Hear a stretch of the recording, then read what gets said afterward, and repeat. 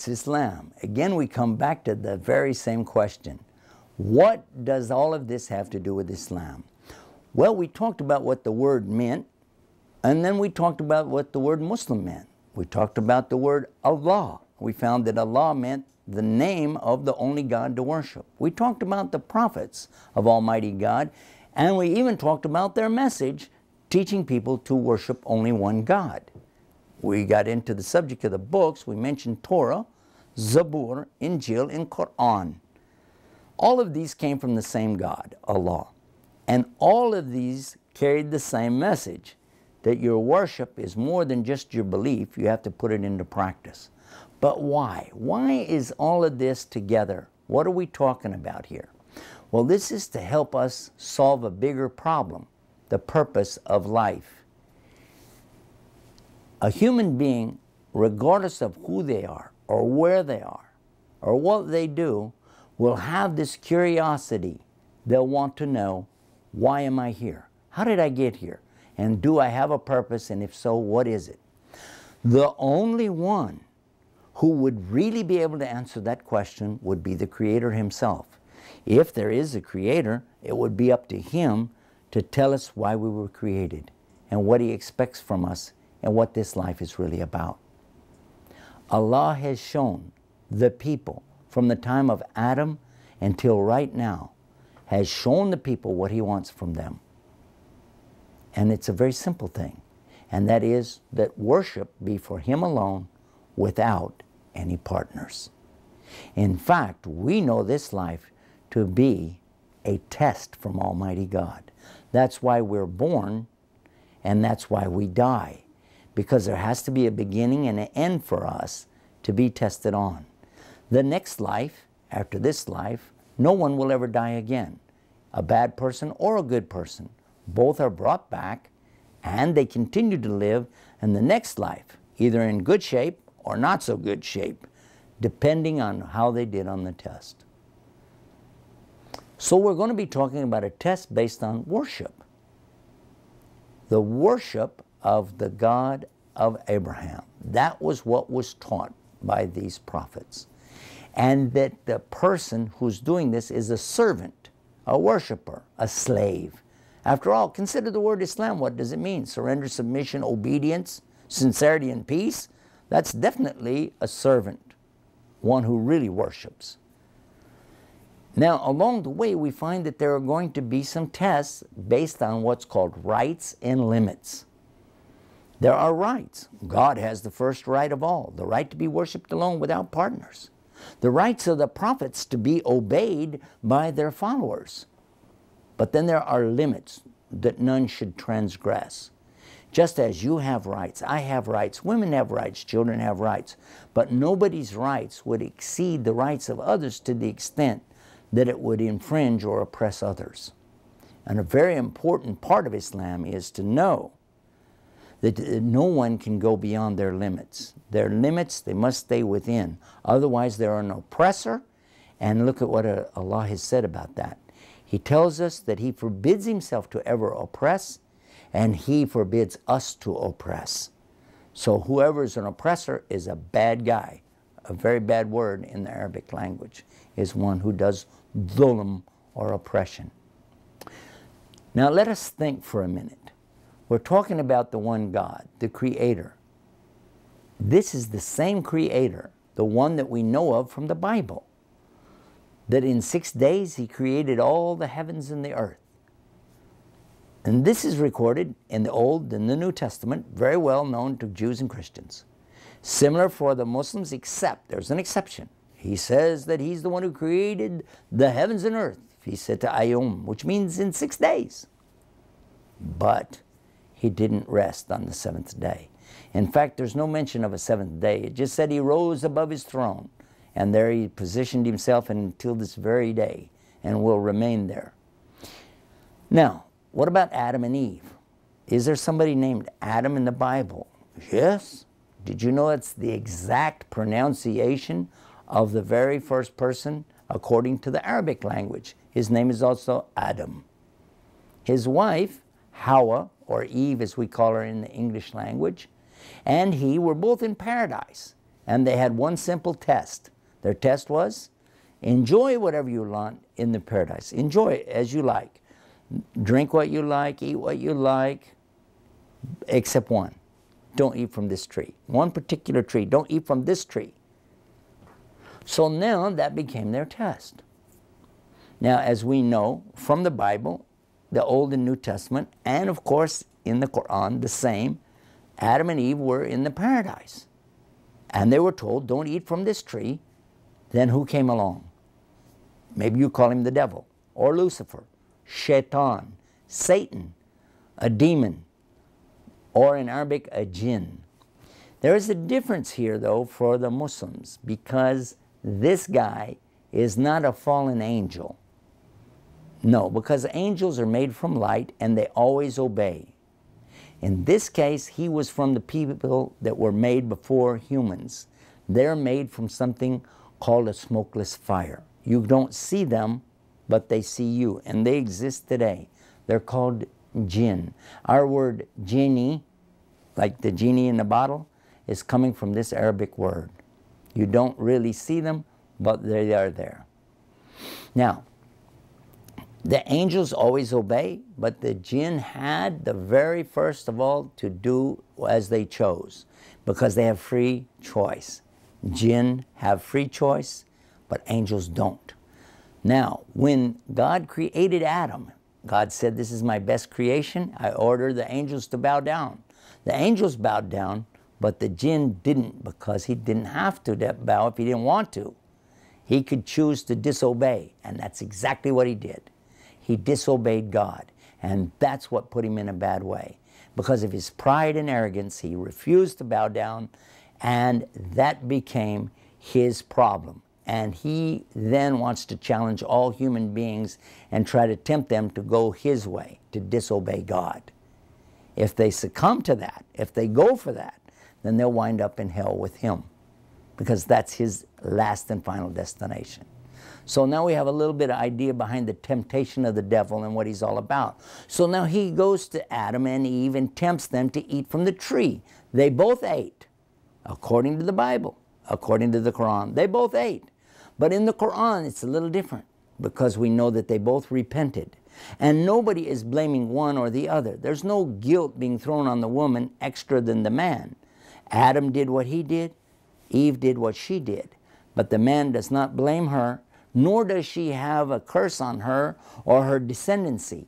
So the women are not guilty by the fact that Eve did anything, nor are the children born in guilt. That means babies are not born in an original sin, they're born innocent. Innocent as a newborn baby. so, What's the purpose of life? Again, it's a test. What is the worldly life? According to Islam, the devil tempts us. Let's take a look at the oldest of the books in the Bible, according to some of the scholars, is the book of Job. We find Job is also in the Quran. In Arabic, his name is Ayub. Whether you're a Jew, a Christian, or a Muslim, if you speak Arabic, you will call Job Ayub. Now, he lost his wealth he lost his health. He lost his family. He had very serious trials and tribulations. Now I want you to think about it. What did he do? He was tempted. He was tempted very much. Just curse God and die. That's what the Bible says. Somebody told him, just curse God and die, you give up. But he was patient and he persevered. In fact, we use that expression today, the patience of Job. And so he had that patience. We find this in Islam as well. And it's a lesson to teach us. Here's a great prophet, and he was so patient. And what did he do? Persevered, and as a result, he came out much better in this life and the next life. The same is for you and I, if we'll be patient. Very good example. Let's take another example from the prophets. You have a book of Jonah in the Bible, in the Old Testament. Jonah is also in the Quran. His name in Arabic is Yunus. Now, what about blaming? Now, this is a good example about blaming other people. Of course, we had the example about Adam and Eve. They could have blamed each other, they could have blamed the devil, but they didn't. They accepted they were wrong and they repented. But what about Jonah? He left his position in Nineveh in Iraq. He went out to the sea in a boat a storm came up, they threw him overboard, he went into a whale, and he went to the bottom of the sea. Now, according to the Bible, he stayed there for a period of time, three days and three nights, and then he came out. But it doesn't tell us the lesson. The real lesson comes when we read the Quran, we find that he would have stayed in that whale until the day of judgment had he not repented and blamed himself instead of anyone else. Because he'd been blaming the people where he lived because they wouldn't accept the message of worshiping one God. So that's why he left. But now he realized it was his own mistake. And look what he said in the Arabic language La ilaha illa ante subhanak inni kuntum dalamin. There is no God to worship except you, Allah. The glory and majesty is to you, and for sure I did the dhulam, wrongdoing, oppression to myself. I went beyond the limits, and I'm wrong, and I repent of that. I'm sorry, in other words.